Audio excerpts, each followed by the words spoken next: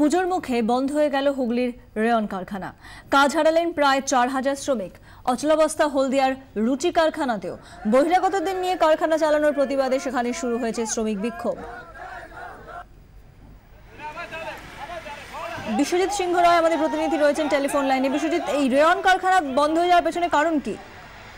দেখো পূজা, গতকাল বিকেল থেকেই শ্রমিকদের মধ্যে অসন্তোষ সৃষ্টি হয়েছিল। তার পেছনে কারণ ছিল তাদের অ্যাকাউন্টে বারো হাজার আটশো টাকা করে বোনাস হিসেবে ঢুকতে শুরু হয়। এরপরই তারা শ্রমিকরা সংঘবদ্ধ হয়ে বারো হাজার আটশো টাকা কেন বোনাস দেওয়া হলো, এই নিয়ে কর্তৃপক্ষের কাছে জানতে যায়। কিন্তু সেখানে কর্তৃপক্ষ তাদেরকে বলে, এই বোনাস নেওয়া হয় নাও, না হলে না নাও। এর মধ্যে এরপরই শ্রমিকদের মধ্যে অসন্তোষ সৃষ্টি হয়। তার কারণ হচ্ছে তারা দাবি ছিল তারা কেন্দ্রীয় সরকারের নতুন নিয়ম অনুযায়ী তারা ষোলো হাজার আটশো টাকা করে বোনাস পাবে এটাই তাদের দিয়েছিল।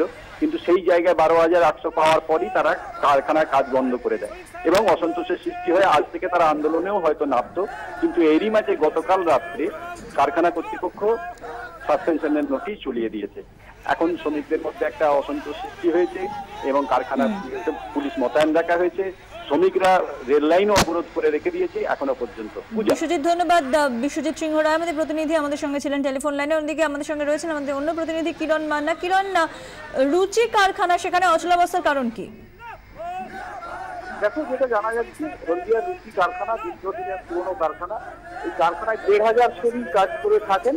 বেশ কয়েকদিন ধরে তাদের সাথে পুজোর মুখে বেশ বোনাস বাড়া বৃদ্ধি এবং তাদের বেশ দাবি দাওয়া নিয়ে কারখানা মালিকদের সঙ্গে একটা মতবিরোধ তৈরি হয়েছিল।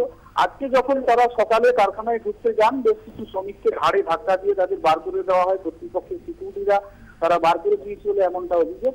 মূল ফটকের সামনে প্রায় হাজার খানেক শ্রমিক এখন তৃণমূল শ্রমিক সংগঠনের ব্যানারে তারা বিক্ষোভে সামিল হয়েছেন। তাদের এই মুহূর্তে কারখানা অচল অবস্থা তৈরি হয়েছে। কারখানার তিনি মালিক, তাকে খবর দেওয়া হয়েছে। তিনি আসছেন এই মুহূর্তে চরম বিক্ষোভ চলছে। হলদিয়া থানার পুলিশ এই মুহূর্তে ঘটনাস্থলে এসছেন। কিন্তু সামাল দেওয়ার দিতে এখনও ব্যর্থ হয়েছেন পুলিশ। পূজা। কিরণ, ধন্যবাদ। কিরণ মান্না, আমাদের প্রতিনিধি ছিলেন টেলিফোন লাইনে।